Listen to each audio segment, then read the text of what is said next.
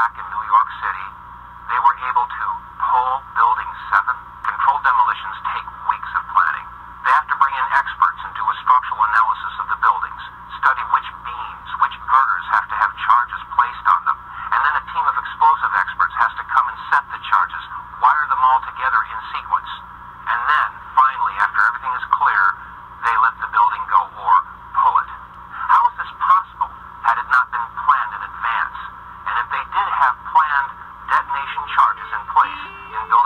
Is it possible that there were charges in the North Tower or the South Tower?